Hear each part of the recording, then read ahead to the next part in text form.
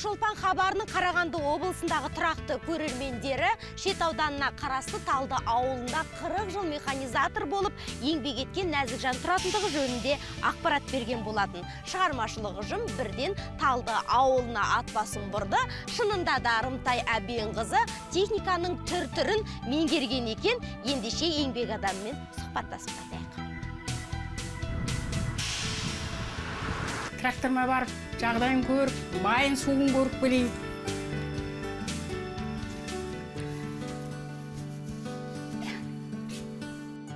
ырымтай әбенқызы 72 жаста. Зейнеткер трактор тізгініне отырудың оңтайлы сәті түссе қалт жібермейді. Алдымен техникалық жағдайын тексеріп шығады себебі ауыр жұмысқа жегілетіндіктен көліктің жүрісінде кінәрат болмауға тиіс. Бәрі дұрыс орнында тұр. Майы уровеньде тұр жақсы. Көбі мынау генератор отказ береді кейде тоқ бермей қалады. Сол көбіне кейде нететін сосын мынау фильтрларын тазалап отыру керек.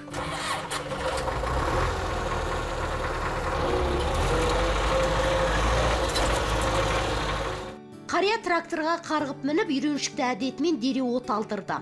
Зейнеткерде төрт тонналық көлікті басқаратын физикалық күш пен зейін бастысы тәжірибе бар. Рымтай әже техниканы алғаш рет 8 сыныпта тізгіндеген.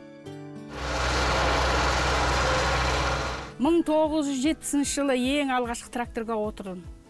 Қорқа қорқа отырып ішіндегі нелер бригадирлар бар солар үйретіп содан шөп шабуға шығып кетті. Басында қиындық болғанда шөп шапқан кезде былай трактор қисаяды ғой. Сол кезде қорқатынмын да былай ештеңе неткен жоқ тез үйреніп кеттім. Шөп шауып келе жатқанда тура енді. Кереметтей сезінесің ғой көк көңгөк шөпті шабу деген оны жинау деген. Мен өзі үйде ұл болып өстім. Ұл балаға ұқсап өстім бір кө- көйлек киіп көрген жоқпын мектепте жүргенде.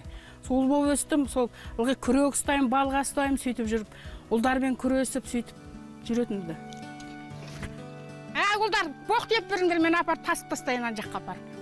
Кейіпкеріміз алтай қыста жиналған күл қоқысты трактормен сыртқа тасып бір ай бойы таза қазақстан акциясына атсалысып жүр. Қолаң шашың иығыңнан құлпырған мөлдір жанарыңнан жыр туған. Егер әкім көмек керек сіз трактормен шықсаңыз қайтеді десе мен қарсылығым жоқ. Бірден тракторымды алып көмектесемін өзім бір жұмыс істегенге ынталанып тұрамын мен шаршау дегенді білмеймін. Үйде де солай жүре беремін әрі бері сол шаруа істеп солай қалыптасқан ғой мен. Біз еңбекпенен қал- неттік қой тәрбиелендік қой. Көмектесіп бересіз десек енді келеді ол көмегін аямайды бұл кісі. Келеді. Жаңағы трактордың тележкесін тіркеп соған боғымызды тартып сонымен жаңағындай қоқысқа апарып төгіп береді. Енді еңбекқор сондай. Жатса енді жатып қалса жұмыс істемей ауырады. Енді қимылысы бәрі енді. Мынау жаңағы топырақ дегендеріңізді мысалы боқ дегендеріңіз бұл кісіге сөз емес.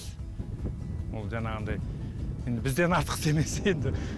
Енді кем істей алмайды. Тракторшы әже жастайынан табиғатқа жанашырлық танытып келеді. Ол жыл сайын тұрғындар арасында өтетін таза аула байқауының жеңімпазы. Осылай жұмыс істегенді жақсы көремін елге еңбек еткенді жақсы көремін. Жас кәрі болсам да рахаттанып қаламын ақшатау ауылының тумасы 40 жылдық еңбек өтілі бар механизатор. Кеңес одағы тұсында талды ауылында трактормен жер жыртып шөп шауып мал бордақылау алаңында еңбек еткен. Балаларым ұрсады қап қара болып қара күйе болып жүресің дейді. Огородқа барамын огородымды жөндеймін шегелейтін жерімді шегелеп тастаймын қойдың кезегіне барамын балалар сабақта жүргенде. Қандай жұмыс болсын мен арланбаймын бір күні отырып қалсам тұра алмай қаламын орнымнан. Мен жүре бергенді жақсы көремін. Сол жүргеннің арқасында осындай болып жүрмін. Тым ауыратып ауырып жүрсем де сол қысты күні сақылдаған аязда далада жүремін денсаулыққа жақсы бәрі. Қар күрейміз балалар немерелерін шығарып алып не немерелеріме де маза жоқ өзіме де маза жоқ жүреміз. Өте сондай еркек бағалы адам ғой бұл кісі. Совет үкіметінің жолын гауһартастан қабырғасының алтыннан қалаған адамдар ғой бұлар негізі. Түйенің қомында аттың жалында ойнайды. Ә, жаңағы жыланды бұлақ деген жерде жылан көп қой.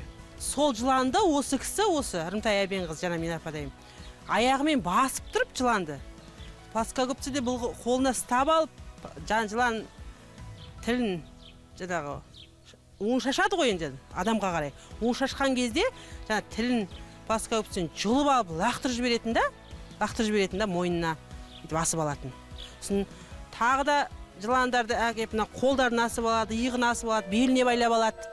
Ырымтай әбенқызының өмірлік жары ғазиз иманбеков те механизатор болған. Олар бірге еңбек ете жүріп төрт баласын өсіріп жеткізген. Бүгінде олардан алты немере сүйіп отыр.